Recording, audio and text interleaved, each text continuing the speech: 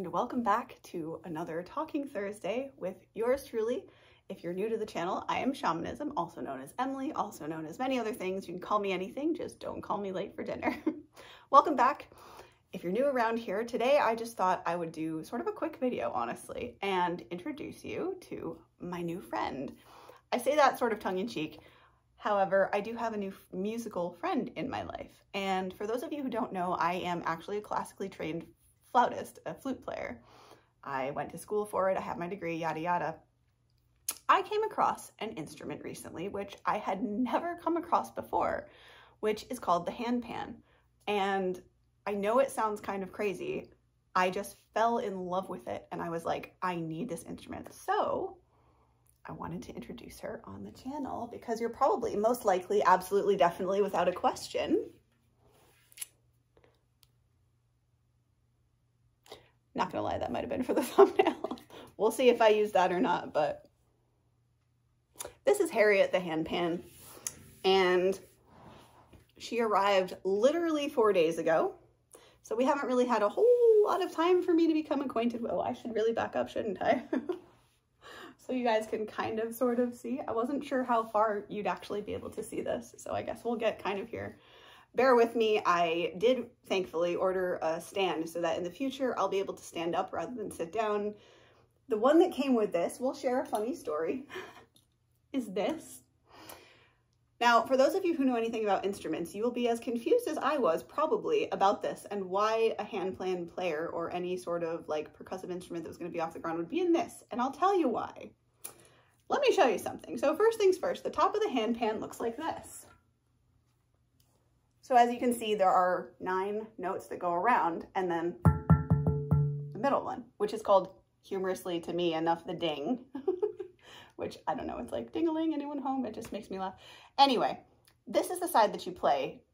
Some other handpan, it, it depends upon the handpan, but some of the handpans have notes on the bottom side as well. But this one, mine only has them on the top. So anyhow, the point I was making was with the hand handpan, if you'll notice, there's no open spaces here anywhere. This is all closed. Everything up on here is closed. Now, the point I'm making is this is the bottom of the handpan. Now, for those of you who know anything about acoustics or music or anything like that, you'll know that for something to play, you have to have air flow or air coming out or air, air needs to be able to move in order for things to make sound. So this basically needs to be uncovered to make sound, right? you know, i.e., it slid out of my hands, but you know. I mean for you to, that's not like pretty, but the point was for you to hear it. Now, if you put that onto this, what do you imagine the problem is? well, think about it. You have a hole on top of now cloth. So it's like you're just putting something right over it. You're just dampening it. So I don't really understand the point of this unless I'm just a numpty and actually this is meant for us to sit on. I don't know. At any rate, I've decided that playing it on my lap works the best and or now I have a stand that's coming that is a standing a standing stand. That's what it is actually. So anyway, I wanted to introduce you guys to her. She is, her, her being Harriet the handpan. so original, Sham. I know, I know. Anyway, so she, in case you're curious, she is a D-Kurd handpan, which as far as I'm aware is the most beginner handpan because hello, hi. like I just said, I am a flute player. I do not play the handpan, or I have not until now, until four days ago. And so she's in the scale of D, so a D minor scale. So is the scale, which is cool. And you get, so you get different chords and things you can do like, or, which is so neat. Um, and it's, I really like it because it's so versatile. Like pretty much you can play all over here. Oh, the other thing that's really weird that I want to mention, which is so cool to me about this, which is different than any other instrument I've, I, me personally, that I've ever played, is, for example, with my flute, which I of course don't have on hand, didn't prepare that, didn't think about that. Anyways, it doesn't matter that I have it. The way you hold a flute is like this. Even though a lot of people will, will jokingly try to hold it like this, but if you actually hold it, you'll see that that's not really practical. You need hands like this. And the way that it works when you play the flute is essentially, there are of course exceptions to this, but the majority of how you play the flute is either you're lifting fingers up and making them less, or well, that's not a great view, but you're either lifting them up systematically in that order and putting them like less or putting more down, right? And there's a few exceptions, like I said, where you have different combinations. But for the most part, it's linear like this. With this, you basically play this not exactly the way I'm about to say, but essentially it's almost like this half with this side of your body and this half with this side of your body, which for me is really weird and really something I have to get used to. So I thought I would introduce you guys to this. I will more than likely be incorporating this when I get a little better sounding or maybe even not to wait, to be honest. I'm going to try to get a good sound out of her as much as possible. But again, um, I'm new, so it's going to take me a little time to get used to her. But so the scale goes, like I said, like this.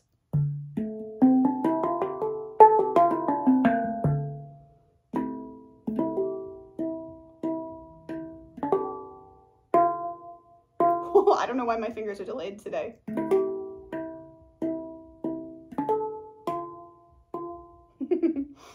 and you know, you can also do like fun percussive things with it, like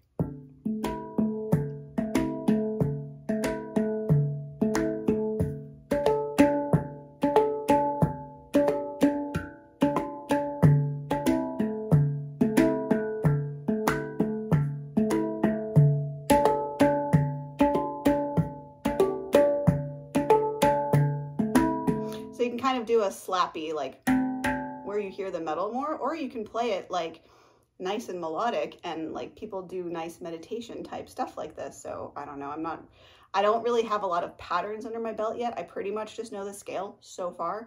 So my exercises, the things that I've been practicing are really sort of just scale patterns. So for example, you know, until you get that and then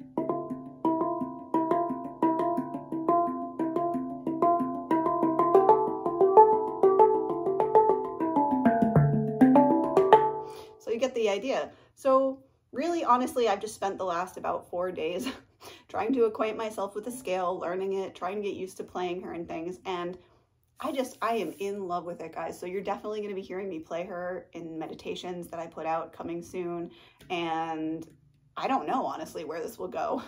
I'm so, I, by the way, I feel like I have to mention them because they were 100 million percent a huge influence, number one, um, and two, they're just incredibly talented musicians and handpan players specifically. So go check out. I'm going to put them a link in the description for sure because they're incredible. Like seriously, do yourselves the favor. It doesn't matter if you're working, I mean, whatever you prefer for relaxation, right? Like whatever it is that you might be doing, if you like relaxing music at that time, go and find these people. Malte Marten and a, a, gal named Julia whose channel is called Change of Colors. And again, I will link them in the description so that you guys can go check out their channels. But they are unbelievable musicians and inspired me so much so. And I fell in love with the handpan largely because of them. So do yourselves a huge favor and check them out. And, you know, I will be here getting better at this stuff. that is way harder than it looks, by the way. It's basically a roll, like you go and it's easier to play on the flute than it is on this.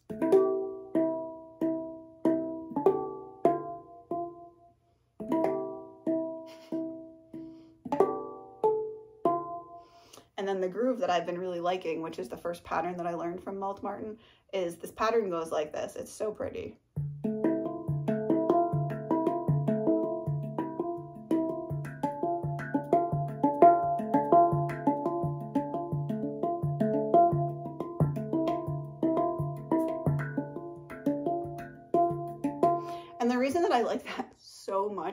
Is it's so versatile. Like you can almost take that and put that anywhere across this whole thing and it sounds really, really beautiful. And the other part pattern thing that I learned was from a gal, actually this one's still from Malte Marten, I think. Um, yeah, this one is still from Malte Marten. This one goes...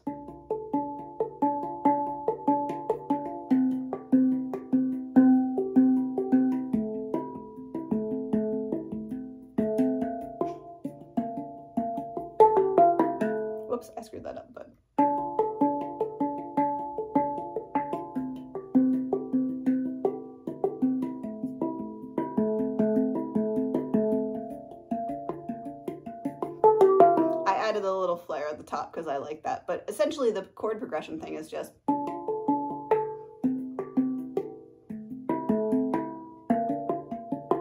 and it's really cool because I I know this might sound strange to those of you who maybe don't play music and stuff, but for me, what had happened over the years, as strange and obscure as this may sound, is that my training kind of boxed me in. I, it was like I learned the framework so well that I almost couldn't see outside of the box.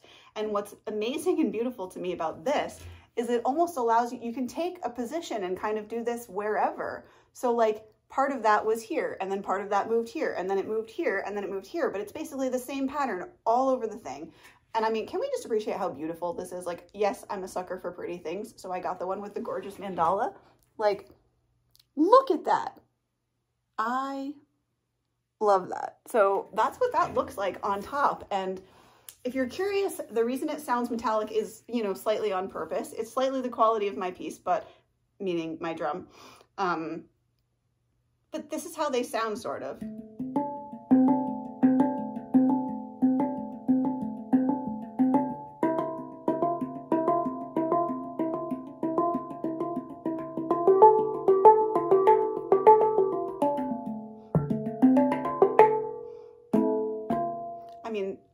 Personally find it so soothing, and I know I'm playing a bit quicker. I'll, I'll just give you an example. So take that pattern that I was just playing, and you can take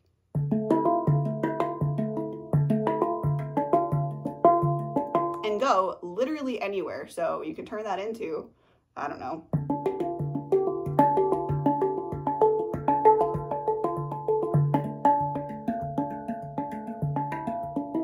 you get all these different sounds and it sounds completely different.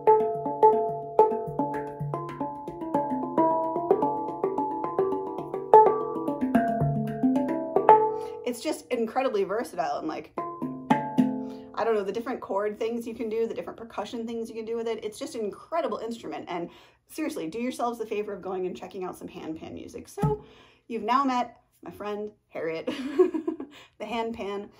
I really do hope to be entertaining your ears with I shouldn't actually put it that way because really this is meditations that I'll be making for you. So ideally, the idea of them is not to draw attention to myself. It's more to relax you guys and just play kind of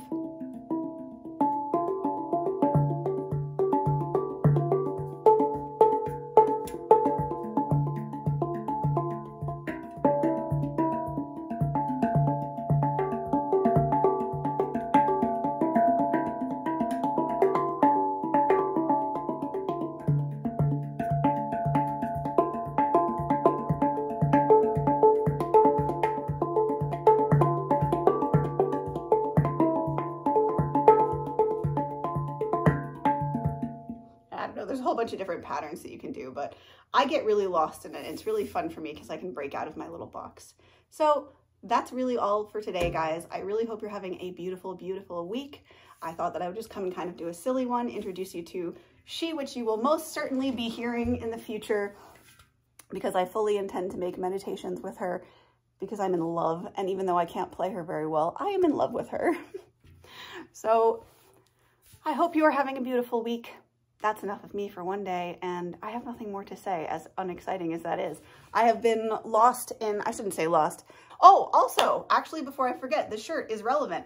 This shirt, you can't actually get anymore, by the way, so I guess kind of a psych, but There's a fellow on YouTube that I watch whose name is Rocky Kanaka, and he is, I don't really know what to call him to tell you the truth, but he has a coffee farm where he rescues shelter dogs or rehabilitates shelter dogs, as well as he goes into the shelter in his area and he helps get dogs adopted and things like that, and he sits with dogs. So I bought this shirt to support the recovery, rehabilitation, whatever you would call it, of this dog whose name is Bean. And the reason is sort of twofold. It was one to support the doggo because he was recovering and he need, they needed funds to help with that. And so it says cool bean. And that's a picture of Bean if you can imagine. And um, I wanted to support dog shelters. I wanted to support Rocky. I wanted to support the dog's health. And I used to say cool bean all the time when I was a kid. So I just thought it was funny. So that's all the exciting stuff that you have today from Sham. I hope you have had a beautiful beginning of your week, that you have a wonderful rest of your week and weekend. And if I can send you away with some words of wisdom, it is follow what lights you up and makes you happy. Follow your passions, guys. the gifts that you have are actually not an accident. And like, I could not have told you that all of the things leading up in my life until this moment would have prepared me to be a handpan player of all things. I'm a flute player, y'all. What, what, what is, what is this doing becoming my main instrument? Like, I don't really know as I try not to throw up my back doing that. Anyway, so have a good week. I will see you guys for the next Talking Thursday, and I wish you lots of love. Follow your joy, follow your passion. I don't just say that for my own health. It's because that is what will lead you to a happier, more blissful, peaceful life. So if you guys, oh, also I'll just mention, sorry about the end, end, end, end. Welcome to my brain as I'm trailing off. Um, I also wanted to just mention that it's likely for many reasons that you'll be seeing me in the meditations.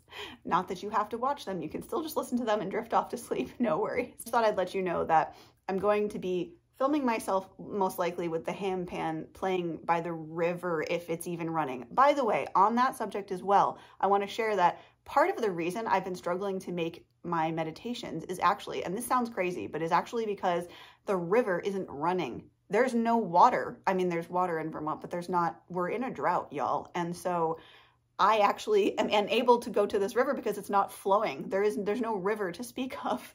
So I think what I may do instead, in light of that fact, is take Harriet the Beautiful Handpan outside to just different spots in nature to play for the meditations. So anyway, you guys have that to look forward to, to just nice, relaxing nature. And calmer tunes than I was just playing at like, a, you know, I was just playing at a pretty good clip. But I will be playing meditative speed things and more chill, mellow tunes. And yeah, so I hope you have a beautiful week and weekend, and I will see you guys for the next one. Thank you so much for spending your time with me. You could be literally anywhere, and sometimes I really don't know why you guys hang around. I am so grateful. I send you so much love, and if you, if anyone wants to communicate with me, don't be shy. Anyway, have a beautiful week. Namaste. Much love. Bye.